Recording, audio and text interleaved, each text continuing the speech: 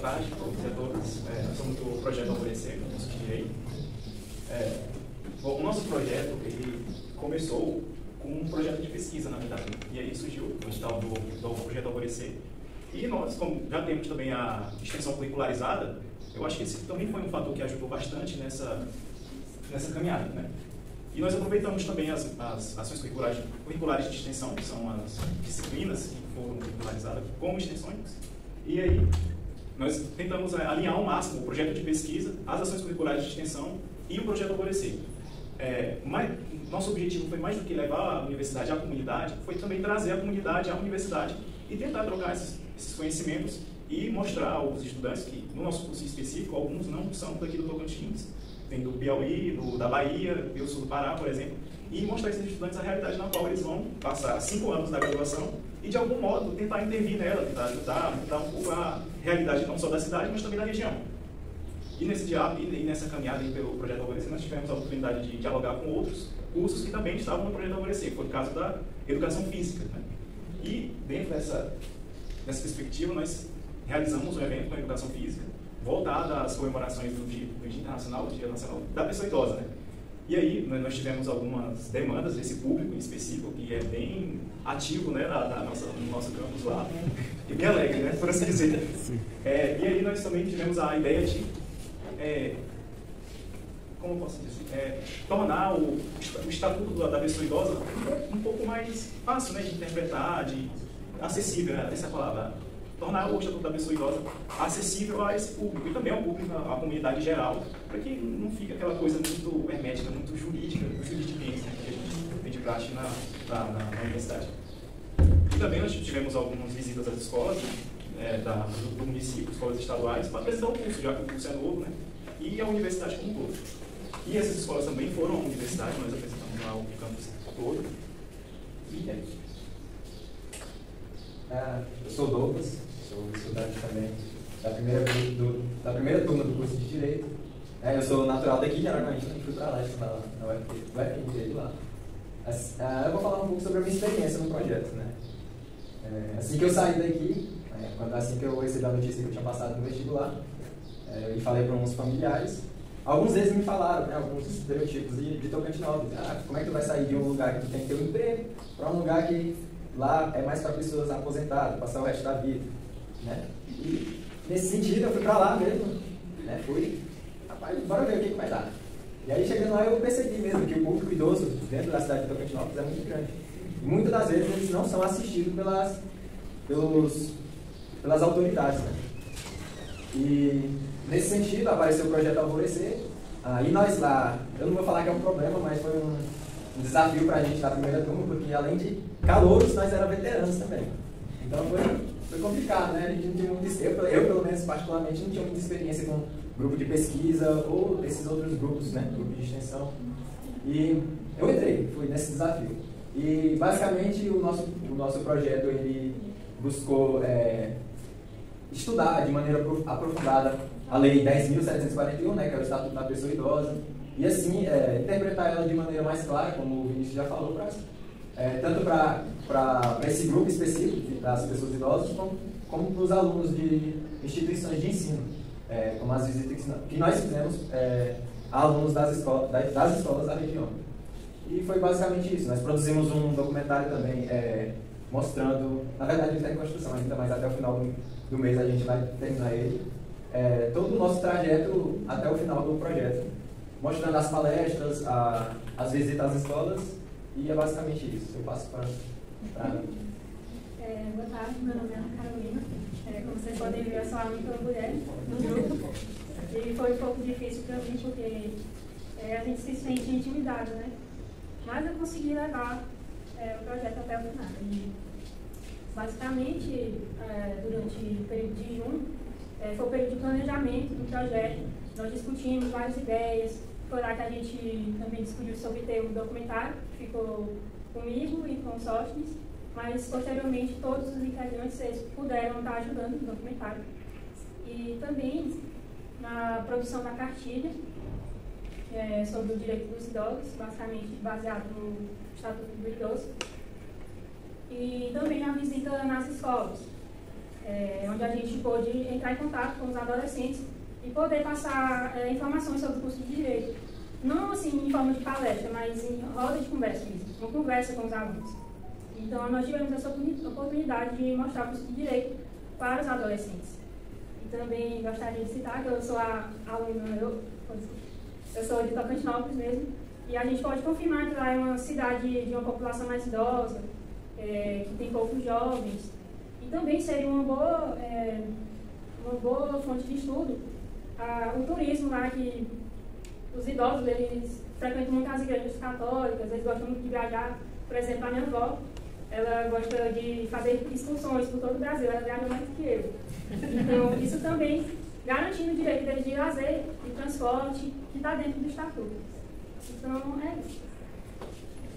Obrigado, Ana. Eu sou o Victor Verano, eu sou natural de Araguatins, e nós temos uma realidade até um pouco similar com a realidade de Tocantinópolis, que é amenizada devido ao Instituto Federal que nós temos lá, e aí acaba recrutando alguns jovens, mas eles ficam, formam e vão embora.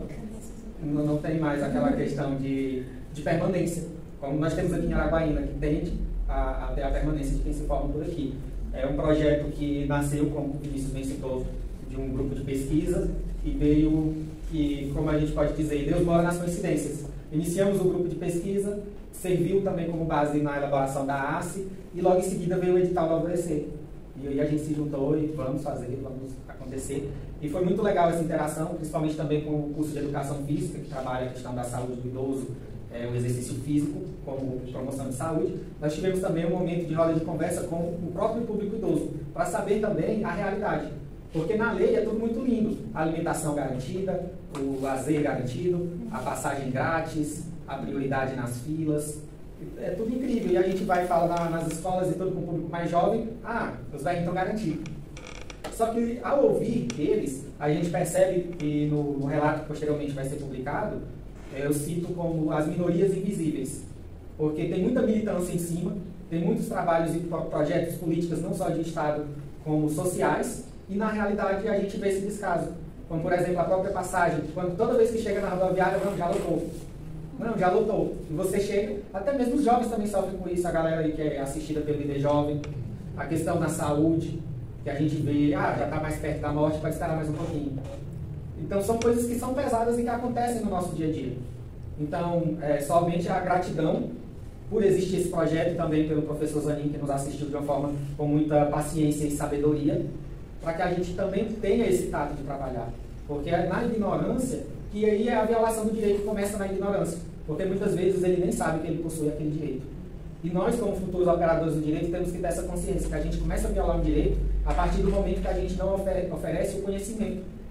Que apenas quando as pessoas tiverem esse conhecimento difundido, a gente vai ter uma noção da realidade e do que pode realmente ser feito e pelo menos garantir o mínimo, que é o que já está ali, pautado na lei, aprovado porque tem muita gente mesmo. Nós jovens não sabemos, os idosos principalmente, maioria deles. Principalmente aqueles que vivem recluso, que teve aquela vida simples, que não saiu da cidade, que o ciclo social dele não tem pessoas, como eles gostam de dizer, pessoas letradas, e permanece aquela bolha. Fica na ignorância, os direitos violados, nem sabe que estão sendo agredidos na questão dos seus direitos, e vira essa bola de neve. Né? Aí fica de um lado com a galera que ganha essa promoção social em cima da militância e do outro lado, quem realmente precisava ser assistido, ter o mínimo garantido, fica padecendo. Então, com esse propósito, no nosso encerramento, vamos distribuir essa cartilha, que o Sócios vai falar melhor sobre ela. Posteriormente, terá os nossos relatos também publicados, a visão pessoal de cada um sobre o que, o que agregou tanto como ser humano quanto acadêmico na questão desse projeto e também as nossas considerações finais. Boa tarde, é, eu me chamo Sóstenes, sou ali, estou, né, estudando junto com os colegas na Universidade Federal do Norte de Tocantins, na cidade de Tocantinópolis, mas eu resido na cidade vizinha, carinhosamente chamada de República Federativa de Porto Franco. Bom, antes de, nós, antes de nós iniciarmos aqui as considerações finais, ou falarmos um pouco sobre as considerações finais, nós estamos aí, ah, creio eu, na fase final da, da confeição da nossa cartilha. E essa cartilha ela surgiu justamente em cima da necessidade, da demanda das pessoas que ah, compõem a comunidade de Tocantinópolis, assim como também na cidade de Porto Franco. A quantidade de pessoas idosas naquela região é muito grande. E nós, observando essa demanda da comunidade, decidimos então é, entrar no estudo voltado para o Estatuto do Idoso e confeccionarmos essa cartilha, como o Vinícius colocou anteriormente, de uma forma que fosse mais palatável, mais acessível não somente à, à, à comunidade idosa, mas a toda a comunidade tocantinopolina. Isso, né? Eu falo isso porque eu estou cerca de um ano e meio na região só, tá bom? Ah, na nossa cartilha, nós buscamos é, condensar alguns artigos da, do Estatuto da Pessoa Idosa, apresentando, ah, dentre esses artigos, os principais que fizessem com que, ou que farão, mudando aí a posicionamento do verbo, ah, farão com que os que tiverem acesso tenham a consciência dos seus direitos a desenvolvimento ah, social. A nossa cartilha ela foi confeccionada por todos os participantes do projeto, o projeto Alvorecer, direcionado pelo professor Fabrício Zenin, e essa confecção ela contou aí com o nosso esforço durante todo o trabalho ah, do Alvorecer, olhando para esse público, para esse nicho que nós podemos enxergar ali na nossa, na nossa região. Não somente isso, agora saindo um pouco da cartilha, o nosso trabalho ele também contou, como vocês ouviram, ah, com uma apresentação a algumas escolas. Nós trabalhamos com algumas escolas. Por que, que nós fizemos isso? Pelo fato de que o curso de Direito, como vocês observaram, é um curso novo ali na região do Bico ali em Tocantinópolis mais precisamente. E para que esse curso estivesse sendo estruturado, assim como ainda, está tem muita coisa a ser feita ainda, mas para que esse curso iniciasse ali, teve uma caminhada muito grande. Um dos nossos professores, o professor David, gosta de dizer, uh, não ipsis literis, né, mas ele diz que às vezes foi pensado como uma custo de sangue, é, onde muitos lutaram, passaram dois acordados compraram livros para que o curso fosse estabelecido. Por isso, nós fomos direcionados, então, nos direcionamos às escolas para apresentar aos alunos essa nova oportunidade que eles têm agora de ingressar em um curso superior, ah, mais precisamente o curso de Direito, ah, apresentando não somente a universidade, mas como um curso, e trazendo uma nova vitalidade aos jovens daquela, daquela região. É interessante observar que na nossa caminhada nós frequentamos algumas ou participamos de algumas escolas onde houve uma grande atenção para o curso de Direito, pessoas fizeram perguntas, mas também nós encontramos outras escolas onde jovens tinham poucas perspectivas. Quando nós apresentamos então o curso de Direito, e nos utilizamos do projeto Alvorecer e aproveitamos essa oportunidade, nós pudemos mostrar a esses jovens uma nova possibilidade, uma nova forma de pensar uh, em relação à vida acadêmica ou uma ascensão social, seja ela financeira ou simplesmente intelectual. Mas nós tivemos a oportunidade de, através do projeto Alvorecer, através desse grupo de pesquisa, através do nosso esforço, do esforço do nosso professor, a desenvolver todo esse trabalho. Aproveitando também a, a experiência que nós vamos obtendo acredito daqui só eu já tenho curso superior, esse é o meu terceiro, mas os meninos já estão trabalhando ah, de forma bem primorosa, né, até podemos assim dizer, essa, essa primeira primeiro passo, essa primeira caminhada na vida acadêmica dentro de uma instituição, onde tivemos a oportunidade de desenvolver artigos, tivemos a oportunidade de observar, de ouvir pessoas, de entender o que é um objeto de pesquisa, de entender como nós devemos trabalhar a esses objetos, de compreender como nós podemos formar nossas próprias mentes e ajudar as pessoas também formar, formarem, a, saindo do senso comum aos seus pensamentos. E o nosso trabalho, basicamente, está voltado para esses princípios, com os idosos, com a comunidade estudantil da região e entre nós mesmos aqui tendo uma nova experiência na divulgação do nosso curso da nossa universidade. Muito obrigado.